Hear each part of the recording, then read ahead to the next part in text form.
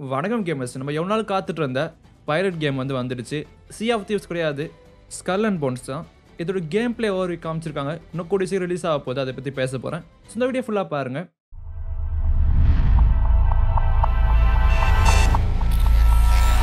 இந்த கேம் பற்றி தெரியலனா இது வந்து யூபி சாஃப்ட் டெவலப் பண்ணுறாங்க ஸோ யூபி சாஃப்ட் வந்து ஏற்கனவே இது போல் பைரட் கேம் ஒன்று செஞ்சுருக்காங்க. ரொம்ப ஃபேமஸான கேமு ப்ளே ஸ்டேஷன் த்ரீ யாரால் வந்து இந்த கேம் வந்து கண்டிப்பாக விளாட்ருப்பாங்க எல்லாருமே. ஏன்னா அவ்வளோ ஃபேமஸான கேமு அசாசன் ஸ்கிடோட பிளாக் ஃப்ளாக் தான். ஸோ பிளாக் ஃப்ளாக் வந்து பார்த்தீங்கன்னா அசாசன் எலிமெண்ட்டோட பைரட்டை வந்து பார்த்தீங்கன்னா ஒன்றா சேர்த்துருக்காங்க. Brilliant idea so Assassin game பிளேயோட pirate அதிகமாக இருந்தாலும் அந்த கேம் வந்து பார்த்தீங்கன்னா சூப்பராக இருந்தது. இந்த கேம் எவ்வளோ சக்ஸஸ்ஃபுல்லாக இருந்ததுன்னா அந்த டைமில் வந்து பார்த்தீங்கன்னா பைரட் கேம் வந்து நிறைய இல்லை. ஆக்சுவலாக இருந்தது பட் இது வந்து பார்த்தீங்கன்னா வேறு லெவலில் இருந்தது.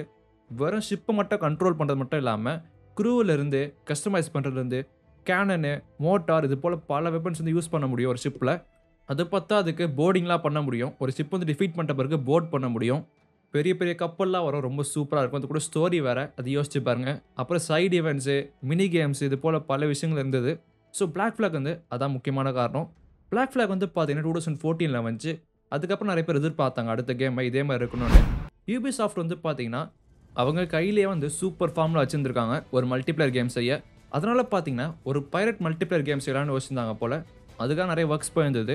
பட் கொஞ்ச நேரம் தான் தெரிஞ்சது அந்த டைமில் இந்த கேம் தான் பார்த்தீங்கன்னா மோஸ்ட் ட்ரமாட்டிக் கேம் ரிலீஸ் சொல்லலாம். ஏன்னா இந்த கேம் வந்து பார்த்தீங்கன்னா டிலே ஆகி ஃபுல்லாக கேன்சல் ஆகிற நிலைமைக்கு போயிட்டு அப்புறம் டேரக்டர் மாற்றுறது இது போல் பல விஷயங்கள் வந்திருக்கு. பட் ஃபைனலாக அந்த கேம் ரிலீஸ் ஆக போகுது. ஸோ ஸ்கல் அண்ட் போன்ஸ் வந்து பார்த்தீங்கன்னா ஒரு மல்டி பிளேயர் அப்புறம் சிங்கிள் பிளேயர் கேம் கூட சொல்லலாம். அதை பற்றி அப்புறம் போகிறேன் இந்த கேமில் ஒரு பைரட்டாக விளாட போகிறீங்க கேமோட பிகினிங் ஸ்டோரி ஆர்க் வந்து பார்த்தீங்கன்னா ரொம்ப சிம்பிள் தான். நீங்கள் விளாட போகிற கேரக்டர் வந்து பார்த்தீங்கன்னா ஸ்டார்டிங்கில் ஒன்றுமே இல்லாமல் இருந்தார். தென் ஒரு சான்ஸ் கிடச்சிது ஒரு பைரட் குரூவில் ஜாயின் பண்ணுறதுக்கு அந்த க்ரூ வந்து பார்த்தீங்கன்னா ஒரு பேட்டெல்லாம் காலி ஆகிடும் எங்கேயோ கேள்விப்பட்ட மாதிரி இருக்கல பிளாக் ஃப்ளாக் தான். ஸோ நிறைய பைரட்ஸ் வந்து அப்படி தான் உருவாயிருக்காங்க. அதுக்கப்புறம் ஷிப் பில்ட் பண்ணி அப்புறம் ஒரு குரூவை ஃபார்ம் பண்ணி அப்புறம் ப்ராக்ரஸ் பண்ணோம். அதான் ஸ்டோரி இப்போ. ஸோ ஸ்கல் அண்ட் பான்ஸ் வந்து பார்த்தீங்கன்னா இந்தியன் ஓஷன் நடக்குது. ஸோ முன்னாடி கரபியன்ஸி பார்த்தோம். கொஞ்சம் டிஃப்ரெண்ட்டாக இருக்க போது இந்தியன் ஓஷனாக வந்து டோட்டல் ஸ்பேனாக இருக்காது. ஏன்னா ரொம்ப பெரிய ஆக்சுவலாக பட் இருந்தாலும் மற்ற அசாசன் கிட் கேம்ஸோட பார்த்தீங்கன்னா இது ரொம்ப பெருசாக இருக்க போது கிட்டத்தட்ட அறுநூத்தி இருபத்தஞ்சு ஸ்கொயர் கிலோமீட்டர்ஸு ஸோ வேலையில் வந்து பார்த்தீங்கன்னா ரொம்ப பெருசு. அது வந்து பார்த்தீங்கன்னா நைன்ட்டி ஃபைவ் கிலோமீட்டர்ஸ் மட்டும்தான் ஸ்கொயர் கிலோமீட்டர்ஸ் அதுவும் சொல்கிறாங்க நாங்கள் லான்ச் அப்போ எவ்வளோ தான் பிளான் பண்ணியிருக்கோன்னு ஸோ அதுக்கப்புறம் எக்ஸ்பாண்ட் ஆகும். சி ஆஃப் தீவ்ஸ் பார்த்தீங்கன்னா நல்லாவே தெரியும். ஸோ இந்த கேமோ சி ஆஃப் தீவ்ஸும் பார்த்தீங்கன்னா நிறைய பேரல்ஸ் பண்ணலாம். அது எப்படி நான் இப்போ வர வர சொல்கிறேன் மேப் எக்ஸாக்டாக எப்படி இருக்கும்னு தெரியல. பட் இருந்தாலும் நிறைய ஈஸ்ட் இந்தியன் ஐலாண்ட்ஸ் தான் இருக்க போதான் அதாவது இந்தோனேஷியன் சைட்லலாம் இந்தியாவை பற்றி தெரியல. மேபி ஒரு பாட்டு மட்டும் வைக்கலாம். இருந்தால் ரொம்ப சூப்பராக இருக்கும். யோசிச்சு பாருங்கள் இந்தியன் ஓஷனில் இந்த கேமோட லொக்கேஷன்லாம் வந்து மோஸ்ட்டாக ஃபிக்ஷனாக தான் இருக்க போது நல்லாவே தெரியும். ஒரு டோட்டலாக புது மேப்பாக தான் இருக்கும். ரியல் வேர்ல்டு பேஸ் பண்ணியிருக்காது. இந்த கேம் பிளே வந்து பார்த்தீங்கன்னா பிளாக் ஃப்ளாக் மாதிரியே தான் இருக்க போது ஷிப் பேட்டில் சொல்கிறேன் இப்போ சி ஆஃப் தீஸ் வந்து பார்த்தீங்கன்னா உங்களுக்கு ஷிப் பேட்டில் ரொம்ப சிம்பிள் தான். ரொம்ப பெரிய அளவுலாம் கிடையாது. ஒரு நாலு பேர் க்ரூ இருந்தாங்கன்னா அவங்க வந்து பார்த்தீங்கன்னா கேனன் கண்ட்ரோல் பண்ணுவாங்க. மல்டிப்ளேயர் ஆடும்போது ரொம்ப சூப்பராக இருக்கும். பட் இதை பொறுத்த வரைக்கும் ஷிப்ஸ்லாம் பார்த்தீங்கன்னா பெரிய அளவில் இருக்க போது ஸோ நிறைய க்ரூ வந்து பார்த்தீங்கன்னா ரெக்ரூட் பண்ணோம். பிளாக் ஃப்ளாக் மாதிரியே தான். ஸோ நேவல் காம்பவுண்ட் வந்து பார்த்தீங்கன்னா கண்டிப்பாக பிளாக் ஃப்ளாக் மாதிரி தான் இருக்கும்.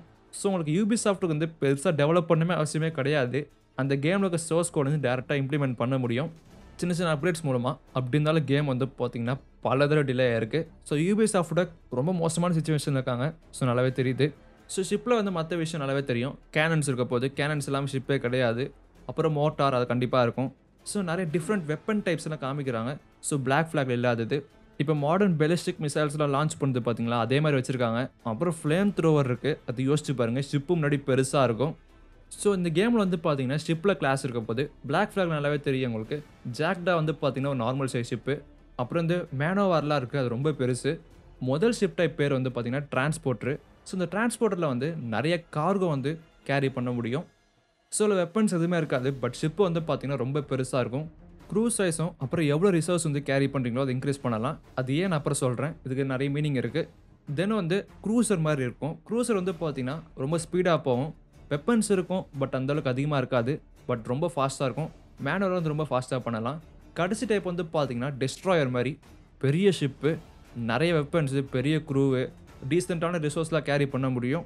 டிஸ்அட்வான்டேஜ் என்ன கேட்டிங்கன்னா அந்தளவுக்கு வந்து மேனுவர் பண்ண முடியாது. ஃபாஸ்ட்டாக இருக்காது ஷிப்பு ஏன் இந்த கிளாஸ்லாம் இருக்குது கேட்டிங்கன்னா இது போல் ஷிப்ஸும் சூஸ் பண்ண முடியும் உங்களால். அதுக்கப்புறம் வந்து அதை மாடிஃபை பண்ண முடியும். ரொம்ப முக்கியமாக கோவப்புன்னு வரும்போது அது கண்டிப்பாக யூஸ்ஃபுல்லாக இருக்கும். கோவை பற்றி பேசுகிறேன் அது அப்புறம் பார்க்கலாம். ஸோ இப்போ தான் முக்கியமான விஷயம். கேம் பிளேயில் எனிமீஸ் எப்படி இருக்க போகிறாங்க ஸோ ஒரு கடலில் வந்து ஒரு பைரட் மட்டும் இருக்க மாட்டாங்க. பல நூறு பைரட்ஸ் இருப்பாங்க.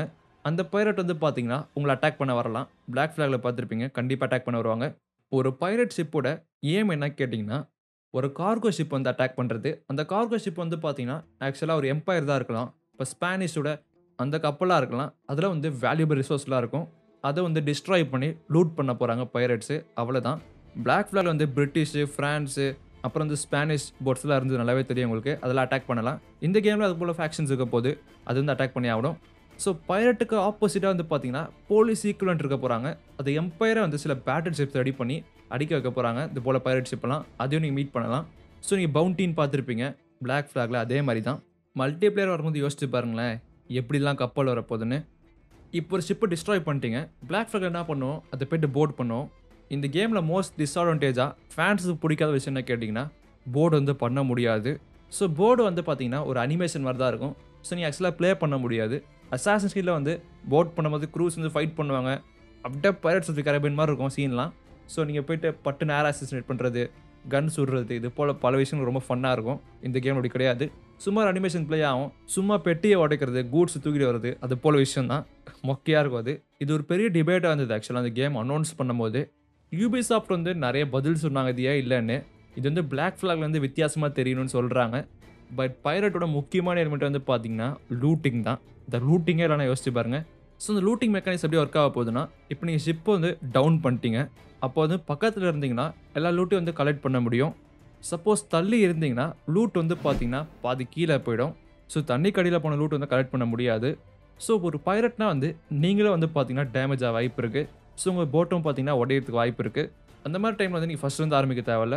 எப்படி இருக்க போது கேட்டிங்கன்னா உங்கள் போட் வந்து டவுன் ஆகிடுச்சுன்னா சப்போஸ் உங்கள் ஆப்பரண்ட் வந்து லூட் பண்ணுறாங்கன்னா மீதி கொஞ்சம் இருக்க போது அது வந்து பார்த்தீங்கன்னா திரும்பி போய் கலெக்ட் பண்ணிக்கலாம். எக்ஸாம்பிள் சிஓசி சொல்லலாம். சிஓசியில் வந்து உங்கள் பேஸ் அட்டாக் பண்ணும்போது எல்லா எலிக்ஸரும் போயிடாது. ஸோ கிட்டத்தட்ட அதே தான் சப்போஸ் டவுன் பண்ணிட்டு அவங்க லூட் பண்ணாமல் போயிட்டாங்கன்னா அந்த லூட் வந்து உங்களால் போய் திரும்பி கலெக்ட் பண்ணிக்க முடியும்.